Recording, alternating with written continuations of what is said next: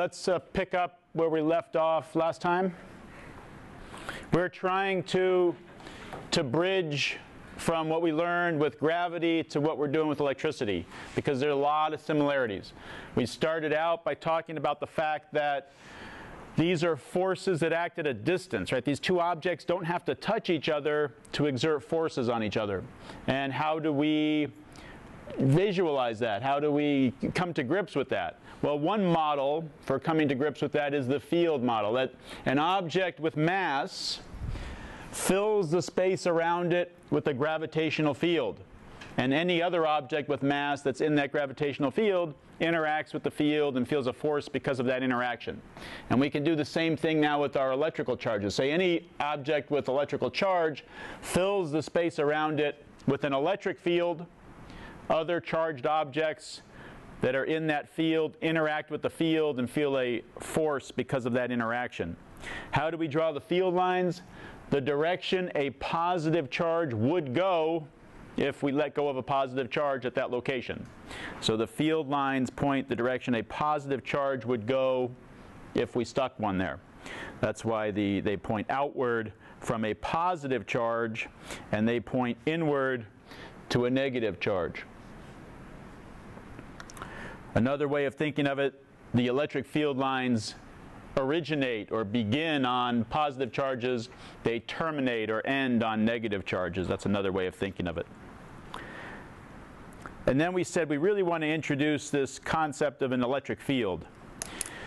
Well, we did a similar thing with gravity. We didn't really call it the gravitational field, but we know the gravitational force, g m1 m2 over r squared, and we know we have a very similar expression for an electric force, right? K q1 q2 over r squared. Well, we got tired when we were doing our uh, weights of objects on the surface of the earth, we got tired of doing this calculation all the time. So we said on the surface of the earth, we can just plug in the mass of the earth, we can plug in g, and we can plug in the radius of the earth.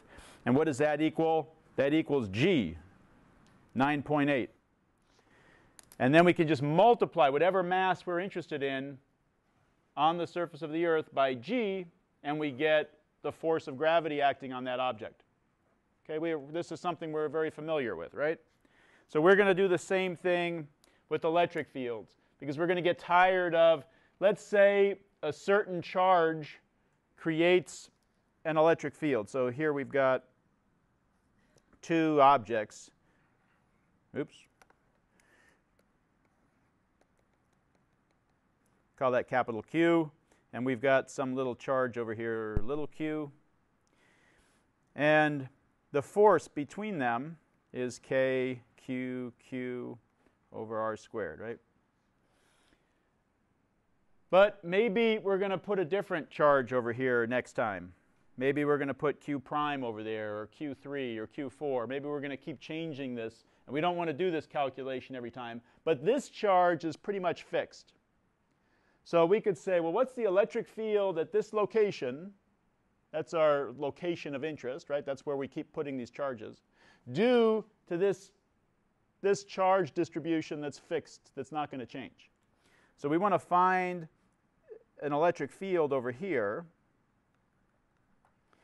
And then, how do we do that? We divide out the effect of the Q that we're placing there, the little q. So our electric field is just equal to the force divided by little q. That's the electric field due to everything else in the system except for little q, right? And then if we want to know what the force is,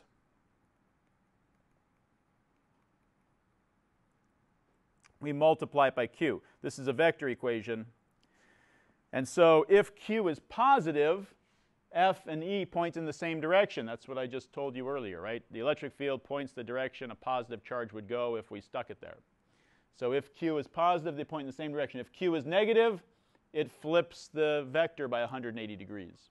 That's what a negative sign does, right, to a vector quantity.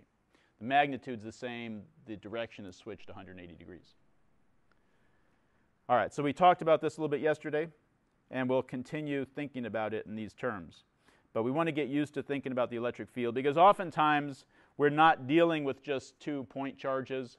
So we want to uh, get in the fact that it's more complicated charge distributions. So once we know the electric field, we've got the electric field at that location, then any charge we put at that location, we can figure out the force acting on that charge.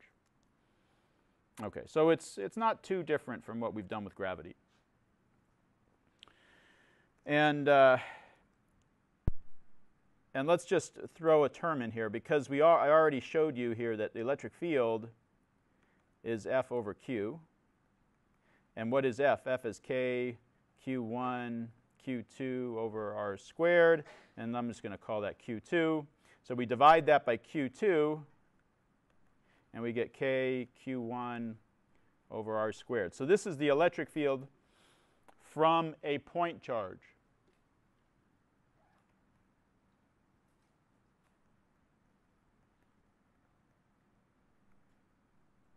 Because that's the electric force between two point charges. And I divided out one of them, and that gives me the electric field. So this is the electric field from Q1, a distance r away from Q1, okay, due to Q1.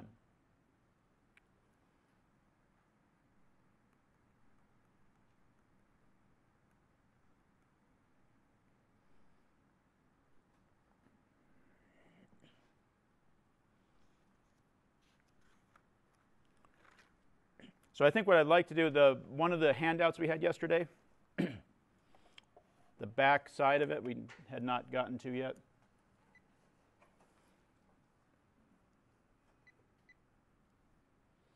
Has these uh, three students discussing this problem. Let's talk about that.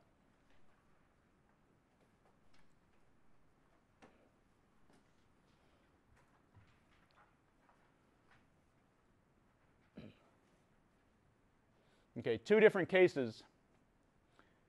In both cases, the charges on the outside are the same. In case A, we put a positive 6 charge in the middle. In case B, we put a positive 3 charge in the middle.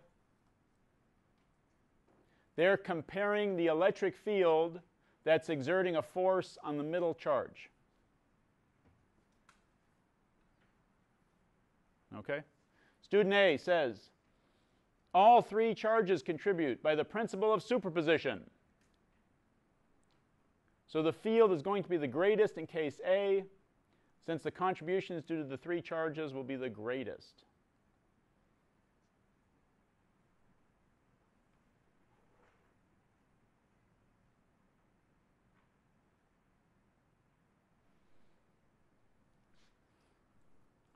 Should we read all three of them first, or? Uh you're formulating ideas.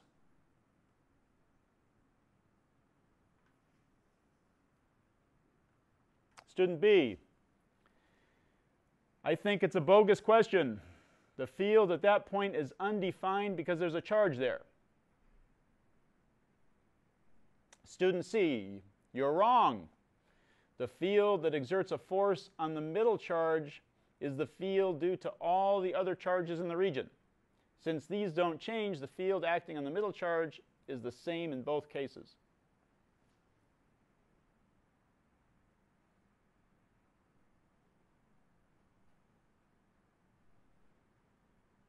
We're trying to find the force on that middle charge, and we're changing it in one case to the other.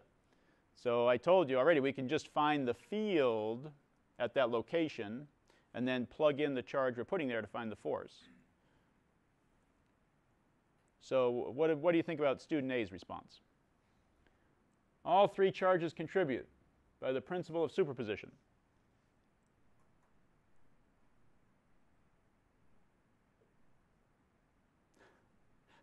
You're shaking your head. Why not?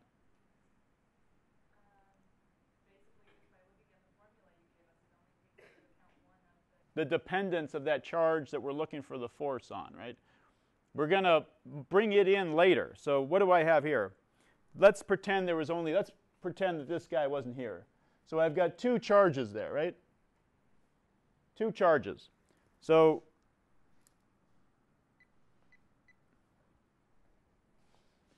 So here's an equation that deals with the force between two charges.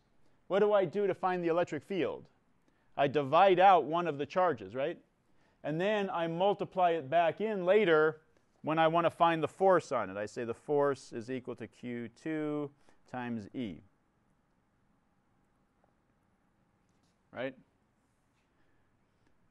So when I'm finding the electric field at that location, I don't count Q2.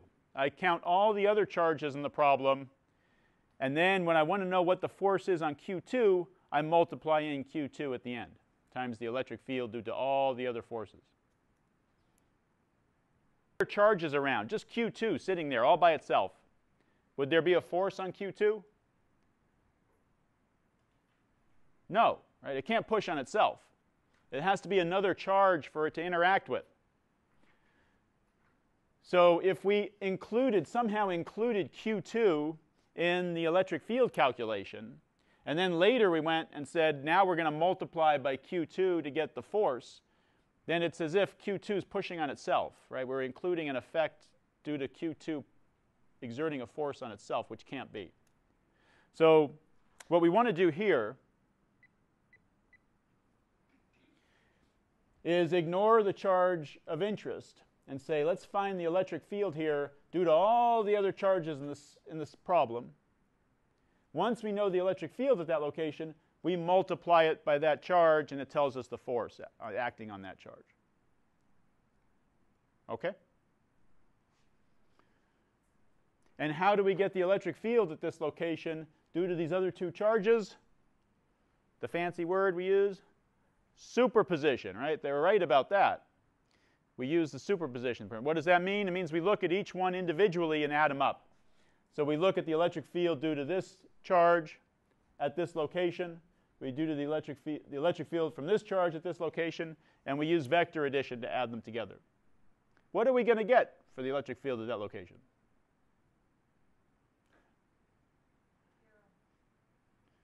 Zero, right?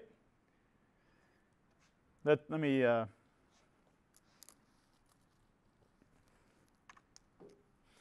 This is a negative charge, so the electric field points toward it, right? I'll call this charge uh, 1. That's going to be E1. And then the electric field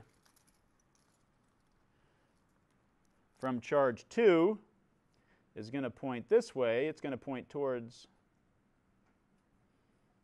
charge 2. And when we add those two vectors, those are equal and opposite because Q, uh, Q1 and Q2 are equal. They're both negative 3.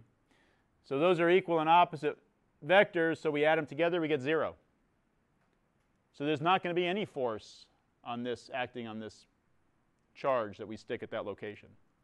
But as far as student A is concerned, they say all three charges contribute by superposition. That's not true, right? Every charge contributes by the principle of superposition except the one that we want to calculate the force on because it can't push on itself. Okay, and uh, student B, the field is undefined at that location because there's a charge there. So again, how do we come to grips with this? We don't include the charge that's there. We're finding the electric field at that location due to everything else and then we use F equals QE to figure out the force on that charge. Okay? And student C, you're wrong. Well, they got that right, right? the field that exerts a force on the middle charge is a field due to all the other charges in the region. That's correct. Since those don't change, the field acting on the charge is the same in both cases. So student C got it right. and it happens to be zero in both cases.